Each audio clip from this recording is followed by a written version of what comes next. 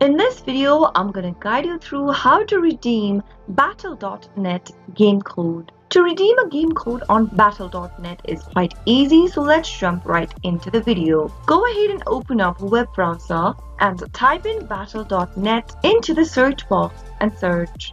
You'll be then redirected to the official site for Battle.net. Go and click on the account button at the top right and click login to log into your account. Enter your Battle.net account's credentials.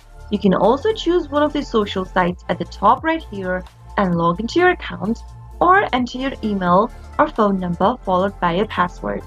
After entering both of your credentials, click Login. After you are logged into your account, mouse over to your account name at the top right and click on Redeem Code in the pop-up. Wait for a few seconds and then it'll take you to the redemption code text box. Here, go ahead and enter a code to redeem games, game time, in-game items, or Battle.net balances. Make sure to enter the code in the text box that you have and make sure to enter it exactly as it's written including any dashes. After you are done entering the code, click on the redeem code button. If the code is valid and hasn't been used before, you will receive a confirmation message. The game or content associated with the code will now be added to your account.